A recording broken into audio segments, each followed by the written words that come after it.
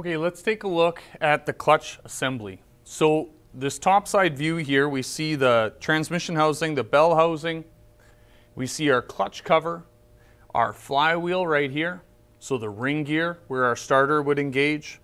Our clutch cover is bolted directly to our flywheel. What we can see in this small little square right here, that is our intermediate plate, and that's also available to see right here. So obviously we're not used to seeing them from a vertical view like this, well, and that's because this is a cutaway and it makes it easier for us to see. So flywheel, intermediate plate, clutch cover. The clutch cover is also holding, supporting, and really allowing the pressure springs that are in here, the angled pressure springs, to apply against the release levers and push the pressure plate against the clutch discs, the intermediate plate, and the flywheel. And what we see is right now the entire clutch rotates as a giant assembly. So it's heavy cast. This is where balance becomes an issue. And so they want to make sure they've balanced the housing. And that's why we see these holes have been drilled in to fix the balance of the clutch cover. We want to make sure that all the weight rotating of this clutch assembly is concentric or centered to the axis of rotation of the engine. Most of you are used to seeing this view. This would be the only view you would get of this unit, and that would be through the inspection cover on the bottom of the bell housing, and you would be looking for that adjusting bolt that's right there and the grease zerk that's right there. So it'd be your normal service points that you're used to looking at. So again, if we take a look at the top view, we can see our bell housing, our cover, intermediate plate to the flywheel, pressure plate squeezing everything together. What we can also see right here is our release yoke, and that's going to be attached to our linkage that's right here. And if I sort of just take us a look, we can see the mechanical leverage that's happening. So we can see the long lever length pulling against through our adjusting rod, our push rod travel, coming in, to our adjustment. Our return spring bringing our pedal back up against the firewall there. So if we're talking about free pedal, free pedal would be this measurement that we'll see right here, would be the light movement that my foot can do with very little effort before my release levers or my uh, fork, my release fork is going to make contact with my release bearing.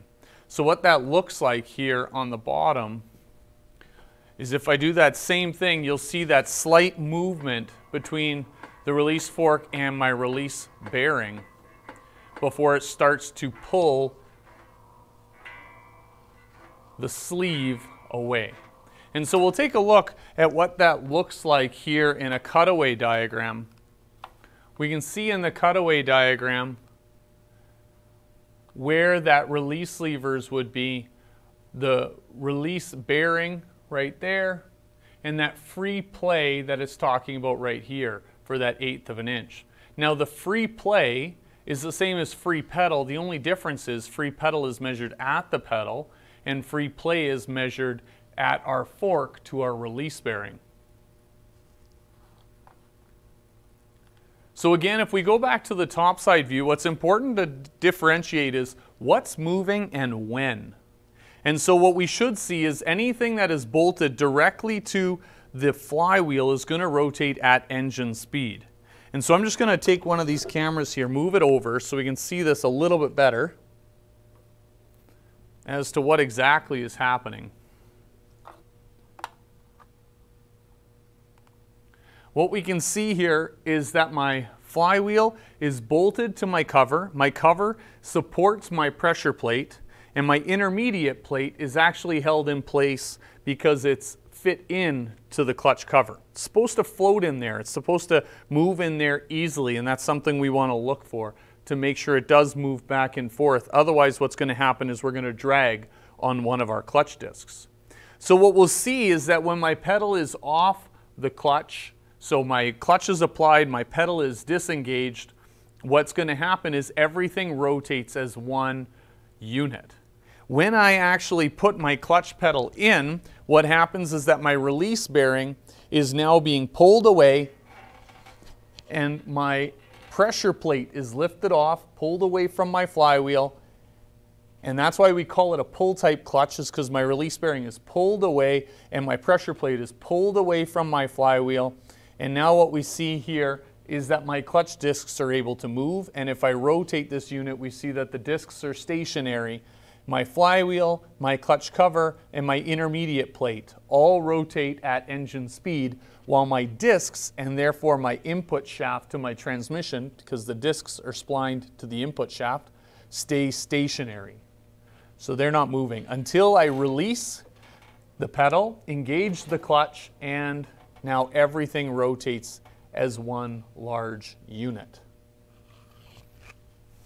When we talk about the adjustment, what we would be looking for, the module talks about a half an inch and an eighth of an inch. An eighth of an inch, and most of the service manuals would tell you the exact same measurement. There's multiple different tools that a person can use. Some of them are quite specialized from a manufacturer.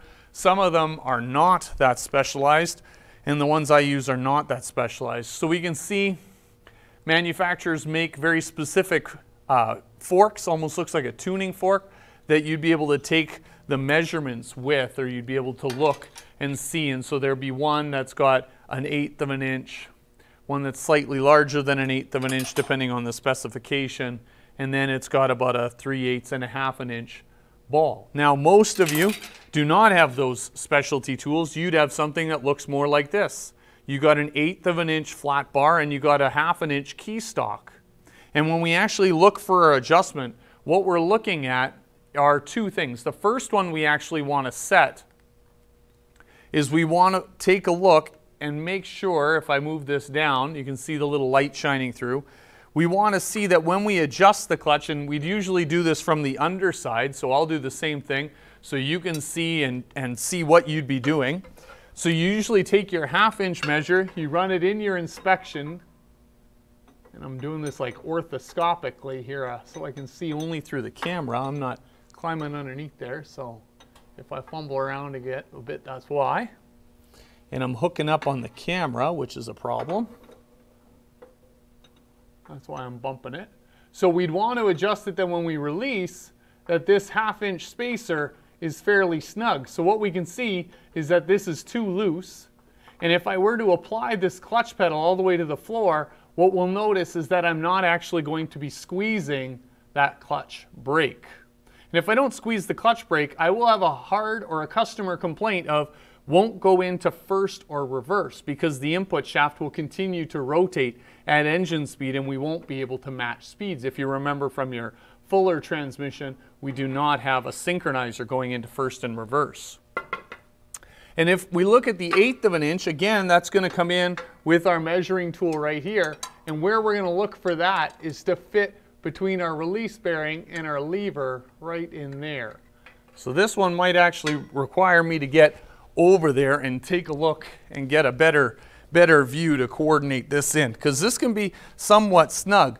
What we would set first is we'd set the half inch first and then we would worry about setting the eighth of an inch. So when we look at this, let's see if hopefully you can keep seeing what's happening here. Get the flashlight.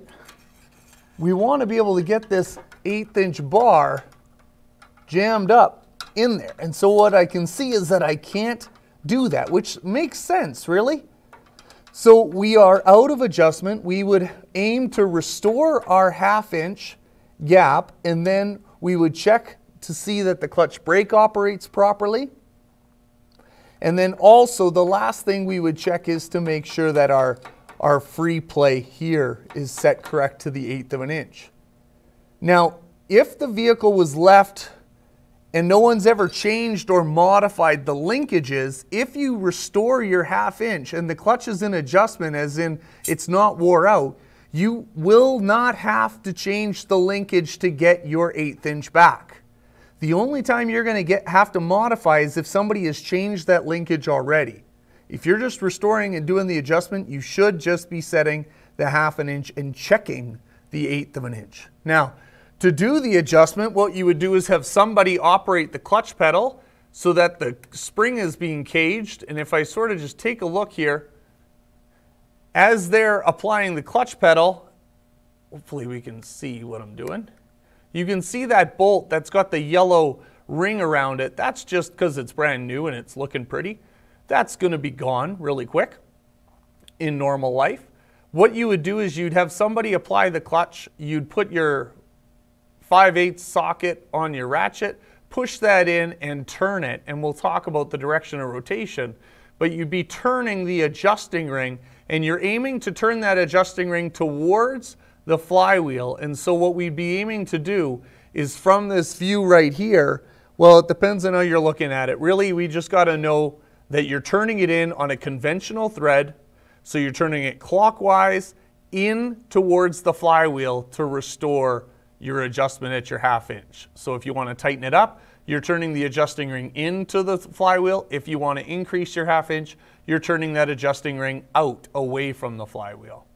So that's sort of the adjustment in a nutshell, looking at this adjusting bolt that's right there and making that adjustment to bring it back in.